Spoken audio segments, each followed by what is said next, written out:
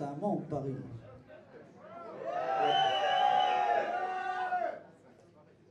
We're very happy to finish the tour in Paris. We're, very happy. We're doing the album third, and um we sold out. Unfortunately for you, um, we're coming back next year for sure.